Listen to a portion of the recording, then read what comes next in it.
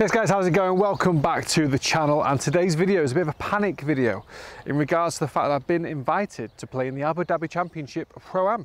So I'm playing on the Wednesday, obviously tournament starts on the Thursday. Today is the Monday of that week, so I'm playing in two days. I just found out my pro is going to be Thomas Pieters.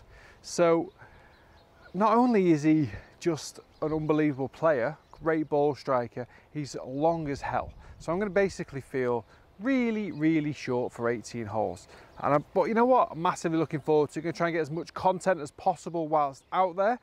But in the meantime, I'm going to just I'm whizzing out three holes in between lessons to get some practice in and try and find a golf swing quickly. I actually did a nine kilometer run last night. I'm aching like mad, but I'm gonna try and work through it because this is a good time to really work the swing. I've been working a bit on driver. Well, yesterday I kind of hit quite a few balls hitting driver. Managed to just find a little fault. Uh, I adjusted uh, my ball, my ball position.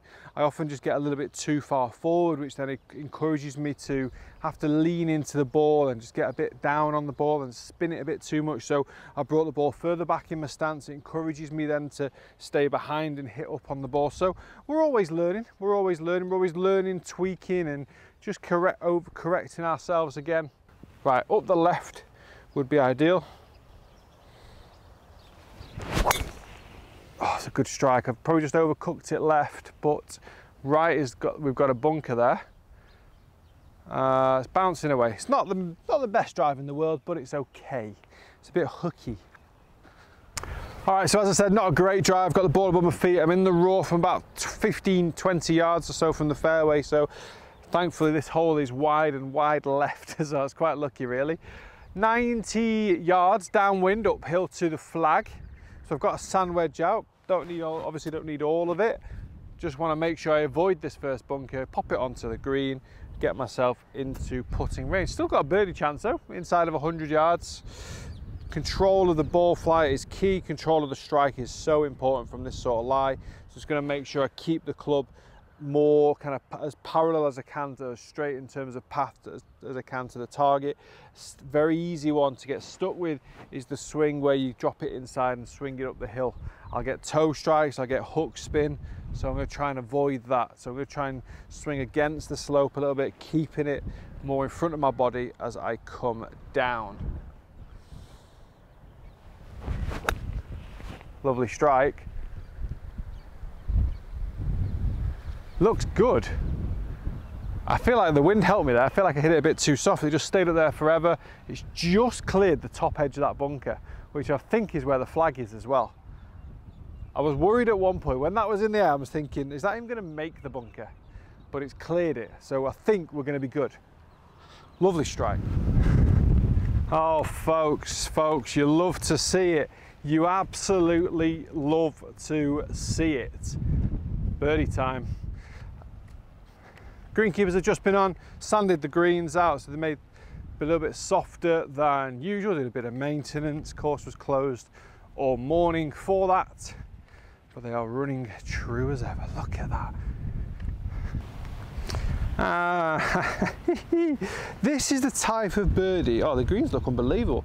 And they look a bit sandy. They've just the guy's just been out. I'm literally behind him, so the next couple of greens are going to be the same, but this doesn't make a difference to, at all to the roll. It's not like thick sand.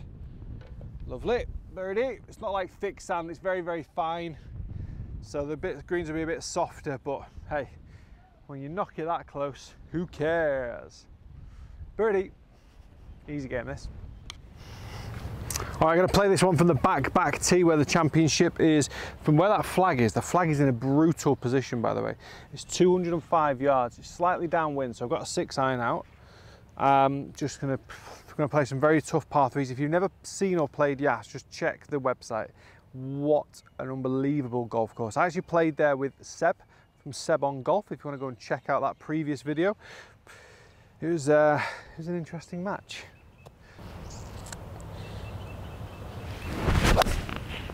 Oh, pure. That's really, really good. Just held on to the left side of the green, but lovely strike, lovely, lovely connection, lovely shape. Happy with that. Okay, I told you two things. I told you it was a good shot, which it is. I told you it was a brutal pin, which it is. This little corner is horrid. Absolutely horrid, but I've held on to the fringe of the green. Not quite classed as a green in regulation, but then this is not classed as a putt. So see it as you will. But normally when I'm playing, I would count this as a green in regulation. Although it's on the edge, it's on the green in regulation because I would count this as a putt. So stats are important, the way they are interpreted. Right, come on, two under through two would be an, an unbelievable start. I'd almost regret coming out and playing. So I'd want this on the first couple of holes at Yas Links on Wednesday.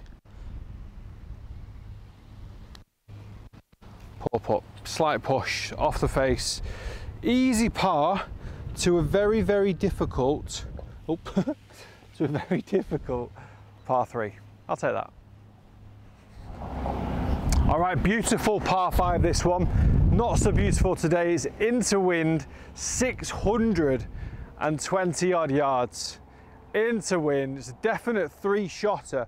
But even with that, we know it's quite comfortably reachable in three, but have to hit the fairways. Got to keep the ball in play on the holes like this. Even when you, if you dissect that into three separate shots, into wind 250, second shot 200 gives you 450, and then third shot 150 onto the green. So we know it's comfortably in range for all those clubs. But if I get out of position, it now becomes a mammoth task. So there's a lot of riding on this tee shot.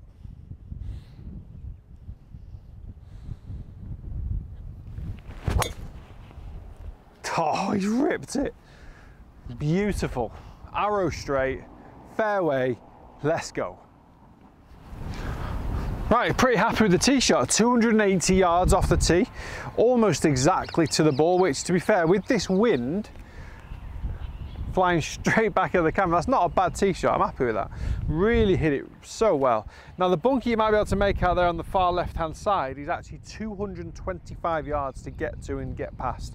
So I've got a four iron, which would normally be about that distance, into wind, maybe hit it. I was going to try and punch this really about two, 200 to 210, which will give me about 110 into the green. So I'm trying to dissect the hole as I go, trying to manage the hole as I possibly can do best with the wind. So I'm going to put the ball slightly more central in my stance just to get a better flight on the strike. I've hit it amazing, but I've just tugged it. Oh guys, sit, sit, sit, sit. It's not massively left. Might be on the pine stuff on the left hand side. Just toward, just left the bunker. That's the sort of shot now, because I'm trying to stay over the ball and get a decent ball flight. I've just flipped the face over slightly left. Also as well, I'm scared about, because the ball position's in my middle of my stance with a long iron, I'm scared of hitting that block to the right hand side. So I've overcompensated and got the pull. I kind of really need the wind now to have hit that hard so it's not traveled too far. I'm thinking it's probably in the like the pine needles and stuff on the right and on the far left hand side there. So hopefully have a shot, fingers crossed. Right guys, I actually lost it. I can't find the ball. So I'm just kind of thinking back to my decision making there and I've gone, well, four iron would be perfect if it lands in that really slender looking fairway. But what I didn't really think about, and this is where I'm a little bit out of practice in terms of probably what would what a tournament decision making would be like. A four iron slightly pulled left just goes straight into there. A six iron pulled slightly left finishes about here, I think, where it's left.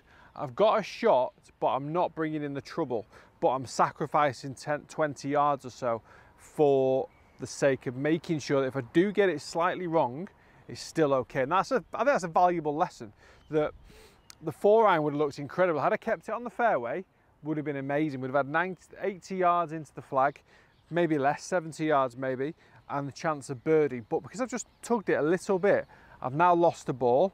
I'd be playing again or whatever, but I'm obviously not going to do all that. Um, so I've got 100 yards in, so I'm just going to punch a little wedge. I've got to keep it under this tree and then just let it glide up to get the height obviously slightly into wind as well. I can't really feel it because I am sheltered from the wind, but remembering how the last shot was, it's definitely going to be into the breeze. So I've got a little wedge, try and play this about a 120 yard shot. Just like that. Looks good, played it nicely. So really played pretty well so far. Decision making, massively important. How many shots do you lose from poor decisions? Comment below. I've just done it, but we all do it so often. Then we, in hindsight, it's such a wonderful thing where felt great off the tee shot, felt confident, hit the four iron amazingly well, but it didn't take much to lose it left.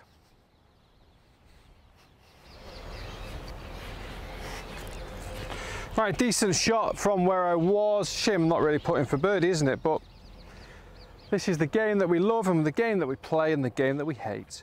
Right, so that would technically be what? Two into the trees, drop for three, here for four. I'd have this for five. Yes, an illegal drop albeit, but this for five. Two puts for bogey.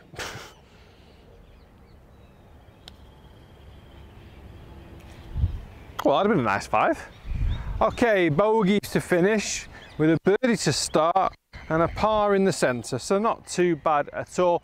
Guys, thank you very much for watching today's tour, not tournament, Pro-Am preparation day. Absolutely not going to be marking a scorecard, I don't think, with the guys in terms of entering the Pro-Am. I know myself and Mac not too fussed about that. It's more about trying to make as much good content for you guys as possible. So hopefully we can get some really good content from the day. Stay tuned. Please do subscribe to the channel. Click the bell for notifications if you haven't already done so, and you'll be notified when that awesome content gets released. See you in a bit, guys.